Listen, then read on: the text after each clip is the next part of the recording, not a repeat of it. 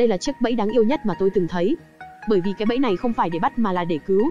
Trong ống nước này có hai con chó golden. Chúng ăn rác uống nước bẩn, bệnh tật khắp người, toàn ăn những thứ dưới cống. Chúng sợ con người, bởi vì sự cảnh giác của chó với cả chúng trốn kỹ quá, nên việc cứu hộ rất khó khăn. Vậy nên mới có màn bẫy để cứu chó như chúng ta thấy. Một bác gái dẫn đội cứu hộ đến bên đường. Ở bên dưới có ống cống. Bác gái gọi xuống dưới mấy tiếng. Sau đó một cái đầu thò ra từ ống cống. Một con gôn đừng ngẩng đầu, căng thẳng nhìn quanh, phát hiện có nhiều người lạ xuất hiện. Nó vô cùng căng thẳng.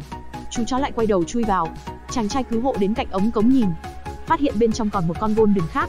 Hai chú chó nằm trong ống cống lạnh lẽo, chúng rúc vào nhau, mắt dại ra, trông vô cùng yếu ớt và đáng thương. Bác gái nói hai con chó này là một cặp. Bác gái phát hiện chúng khi đi qua đây, thấy chúng đáng thương bác gái rất đau lòng. Bác gái muốn lại gần chúng, nhưng chó rất sợ người, thấy người sẽ trốn ra xa. Xung quanh ống nước toàn là cỏ dại, chỉ có một vũng nước bẩn, không có thức ăn và nguồn nước để nuôi sống chúng. Bác gái rất đau lòng, nên ngày nào cũng mang đồ ăn qua. Bác gái chuẩn bị canh cá cho chúng, sau đó đổ đồ ăn cho chó vào, còn cho thêm các món bổ sung dinh dưỡng cho chó vào. Bởi vì sợ chúng không no nên lần nào bác gái cũng mang nhiều. Mỗi lần cho ăn đều rất khó. Bác gái thả thang xuống, sau đó trở xuống đặt đồ ăn vào ống. Một con chó ngửi thấy mùi lập tức chạy ra. Chúng đã đói lắm rồi. Đây là một con chó được nên nó bạo gan hơn.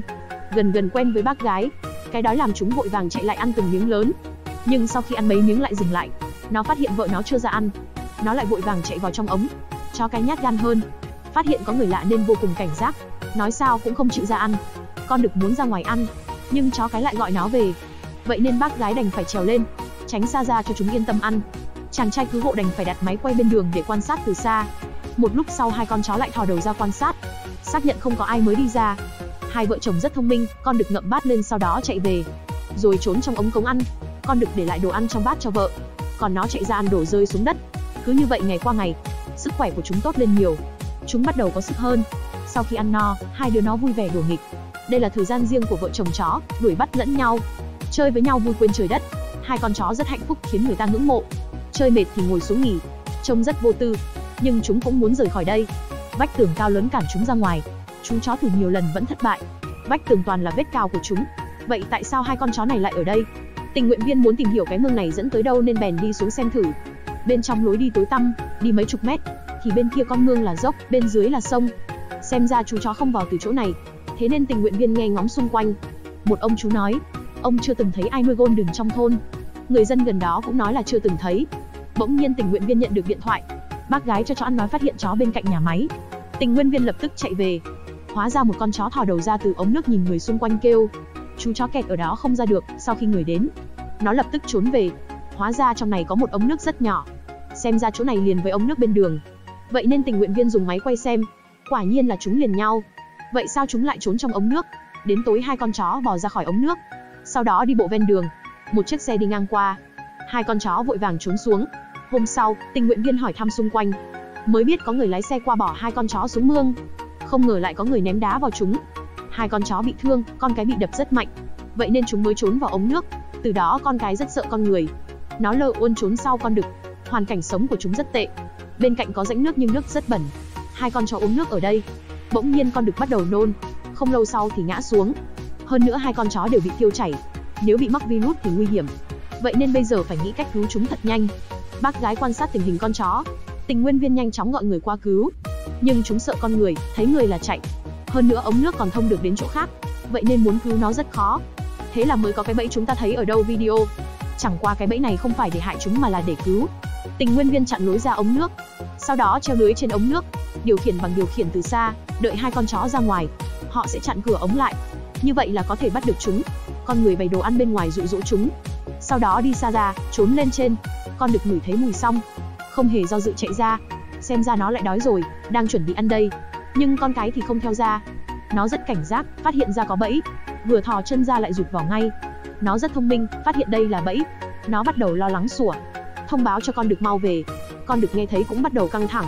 Tình nguyện viên nói con chó này quá thông minh, nhưng không làm khó được họ.